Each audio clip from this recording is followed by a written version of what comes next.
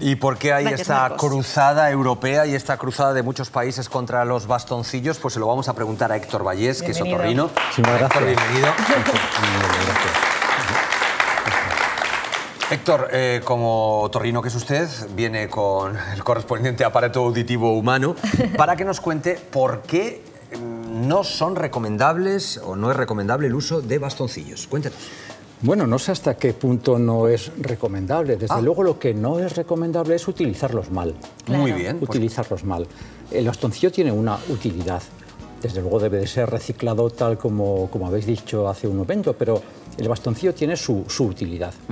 Eh, y esa utilidad es mm, quizás más estética, quizás eh, un punto higiénica, pero más estética, ya que la cera, a pesar de que es una secreción, es una secreción pues como puedan ser las lágrimas o como pueda ser la saliva, pero tiene la, mala fortuna, el infortunio de ser marrón.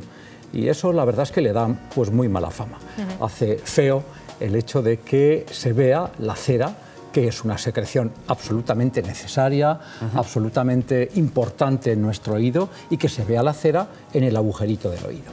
De tal manera que, de alguna manera, tendremos que retirar ¿Y cómo lo hacemos? Porque, claro, yo entiendo si yo me estoy viendo que no tengo el oído limpio, enseguida voy a proceder a buscar estos bastoncillos y limpiarme el oído, por lo que decía, por una cuestión estética, porque por el principio lo que nos está contando es que la cera tiene su función y es una función buena, pero entonces... ¿Cómo eliminamos? Eh, porque no es bonito ver un oído con cerumen. Claro, claro, es así.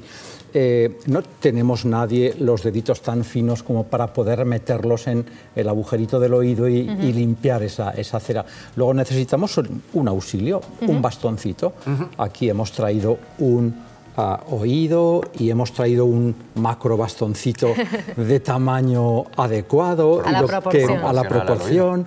y lo que me gustaría transmitir es que el bastoncito encuentra su mejor utilidad, a lo mejor lo, aquí, sí, lo podemos lo, va manejar mejor aquí, encuentra su utilidad en esta zona del oído, en lo que es el agujerito del oído, limpiando lo que se, lo que se ve, lo que hace, lo que hace feo, pero nunca introduciendo el bastoncito en el interior del oído, por cuanto que lo que haces es empujar la cera que se está formando, empujarla dentro del oído y facilitar la aparición de lo que conocemos con el nombre de un tapón de cerumen, un tapón de cera. Don Héctor, eh, por supuesto, ¿el bastoncillo hasta qué zona llega del oído? Porque digamos que toda la zona más sensible y más compleja, la que sería la que estaría produciéndonos los impulsos nerviosos para el ruido, esa no, no se ve nunca afectada. No, no, no, no, eh, no el bastoncito, eh, ya he dicho, únicamente debe de introducirse en esta primera porción, en, esta, en este orificio del conducto auditivo y nunca más allá.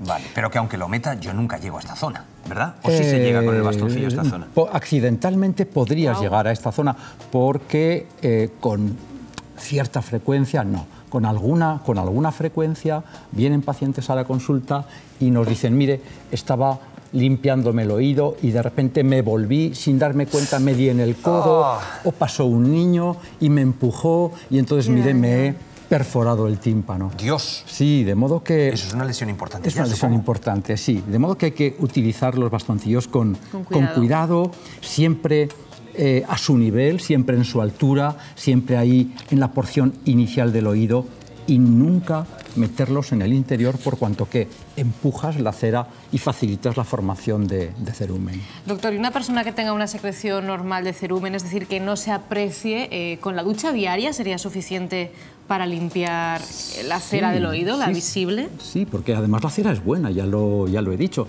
De modo que la cera... Eh, lubrifica la piel de tal manera que la impermeabiliza, si no cada vez que nos bañáramos o entráramos al, al mar tendríamos una infección. Y la cera es una capa grasa que impermeabiliza nuestra piel. Además es antiinfecciosa y se opone a la penetración de pequeños parásitos que puedan, que puedan estar a nuestro alrededor. Eh, Doctor, pequeños eh, insectitos. Eh, cuando yo era pequeño, es verdad que las prácticas médicas han cambiado con el paso del tiempo también en muchas ocasiones. Yo no sé lo que me va a decir, pero yo recuerdo ser pequeño, tenía tapones y entonces ibas al médico y recuerdo que te cogían una especie de jeringuilla muy grande metálica con agua calentita, que lo recordarán, te metían ahí un buen chufletazo y expulsabas el tapón. ¿Eso se sigue haciendo y es recomendable? Eh, a ver, se sigue haciendo, depende de en qué medios de asistencia. Hay medios de asistencia primaria, en donde nuestros eh, médicos eh, generalistas, incluso eh, los enfermeras, las enfermeras y los enfermeros, tienen una gran pericia en lavar el oído y en en primera instancia, pues el retirar el tapón de cera si es que se ha formado. lo que ocurre es que en ocasiones el tapón es o muy duro o es un tapón muy profundo o no ha sido fácil extraerlo y el médico, de, el médico general con muy buen criterio lo que hace en esos casos es derivar el paciente al especialista. Y es en este medio en donde ya prácticamente no utilizamos el lavado con jeringuilla por cuanto que en efecto, claro, pues podría tener algún pequeño problema aún en manos del especialista. Y es por eso que lo que hacemos es aspirar aspirar o, utilizar pequeñas pinzas. Hay otras técnicas. Doctor, entonces nos tenemos que quedar con el consejo de si vamos a seguir utilizando estos bastoncillos, utilizarlos de forma muy superficial, limpiarnos con agua y restarle un poquito de importancia al asunto y sobre todo no presionar no nunca. penetrar dentro del conducto auditivo porque además nos oponemos al drenaje de la cera. La cera tiene que drenar eh, por gravedad y por rebosamiento debe de ir produciéndose cera tras cera, ese es el, el caracol. ya, le, vamos a despedir, pero podríamos estar aquí hablando con usted meses. Porque qué cosas tenemos dentro del oído, ¿eh? la naturaleza como es. Héctor Valles, un aplauso inmenso. Muchísimas gracias por acompañarnos.